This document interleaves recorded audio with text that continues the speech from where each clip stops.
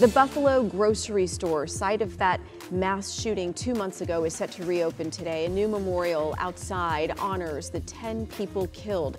Inside the Tops Market uh, now has wider aisles with better sight lines, apparently increased professional security, and an emergency evacuation alarm as well as exit.